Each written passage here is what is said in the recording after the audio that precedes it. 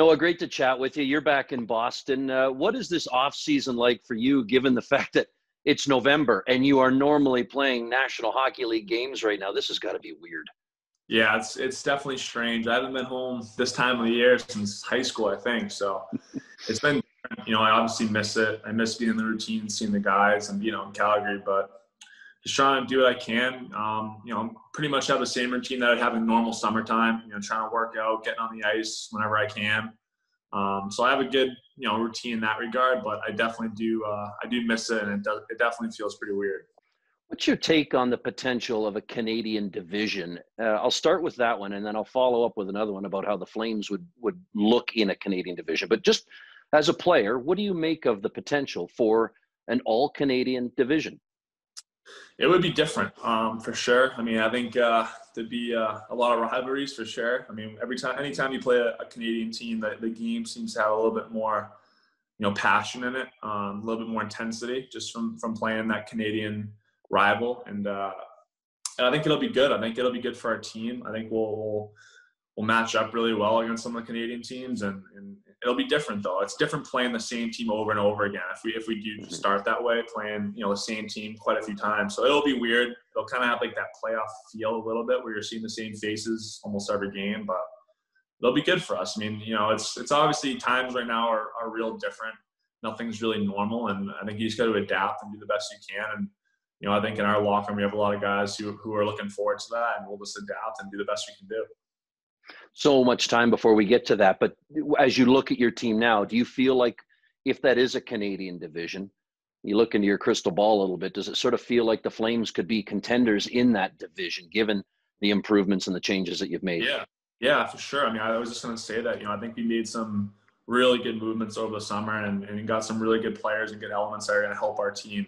Um, you know, obviously disappointing end last year, this past year with, with you know, I lost in Dallas, but I do think, you know, getting Markstrom, getting Tanev, getting some of that depth that we got up front, I think that's going to help us a lot. I really do. And, um, you know, I think playing all those Canadian teams, you know, I, I love it. You know, I always look forward to it. Whenever you're playing a team like Vancouver, Edmonton, Toronto, you're always circling on the calendar and you're excited to play. So it'll be different, but I think, you know, looking at our lineup now, I think we'll, we'll match up fairly well. I think we're a really well-rounded team and we have it all. So it'll be good. I'm looking forward to it.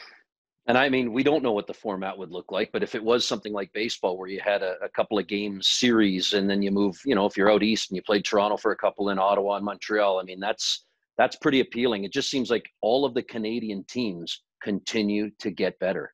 Yeah, I like that a lot. I think it'll be good for, for our teams. I think especially with with traveling all over Canada, I think it'll help us in that regard. You'll be a little bit more rested, but it'll be fun. You know, I think if you know, say you go to Toronto and you play them three times, I mean, that could be real interesting. I think games can get real fun, even for the for the fans watching the games on TV and stuff. It'll be uh, it'll be pretty interesting. I think seeing those faces every you know, if we play Edmonton three games in a row, like that'll be pretty fun if that does happen. And you know, I like that format a lot. It'll be different, but I think uh, it'll be a cool experience.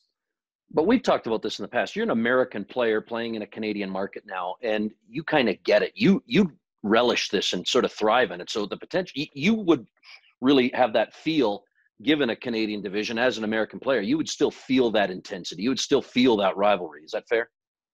Yeah, I mean, I think you know, even this past year in the playoffs, I think we played. Yeah, we played Edmonton an exhibition game, and it was right off the get go. There was there were scrums and, and fights, so it's uh, doesn't really matter once you get into the to the game. You know, everything else goes away, but you do feel that intensity whenever you're playing a Canadian team, and obviously being an American, you know, it took me some time to realize just how passionate people were up in Canada about hockey here and and how supportive of their teams they are. And I think just whenever you do have a Canadian battle or a Canadian, you know, team play another Canadian team, you can just feel like that energy in the air. So it's it's uh, it's cool, and I think you'll get a lot of that, in, you know, this coming season. Uh, the Battle of Alberta, it we could probably expect to see that thing ratcheted up a little bit even more if that's possible. I mean, that was that was must watch hockey. That was the most talked about matchup yeah. throughout the entire season.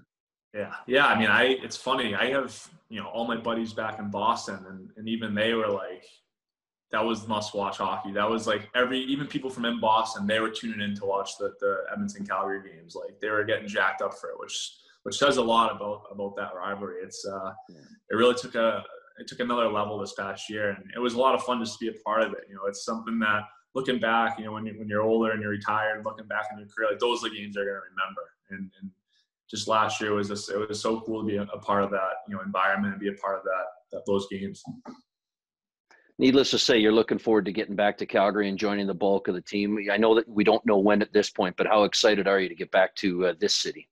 Oh, I can't wait! I can't wait just to get back, and you know, I miss it. It's been a lot of time off. You know, it's uh, it's uh, it's been different for sure, but I do miss the game. I miss being in the city and seeing the guys and playing hockey and kind of getting into that routine again. You know, so I'm, I'm hoping you know sooner rather than later we find out what's going on and I can get back out to to Western Canada and get it going.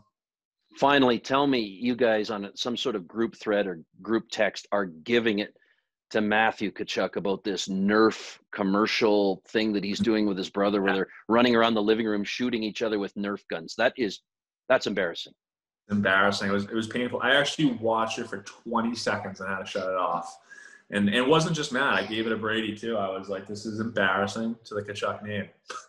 but no, it, it, was fine. The boys have been all over him, but it's uh, that's typical Matthew right there. He's he's uh, he's a funny guy. He brings a lot of energy, and, and obviously he's like a fan favorite for the Flames. And yeah, I expect nothing else than a Nerf battle with him and his brother in their household. well, listen, uh, thanks so much for the time and the insight. I know we'll see you soon. That's our fingers are crossed for a speedy return, and good luck uh, with the off season and the training. Thanks. I appreciate it, Ryan. All the best.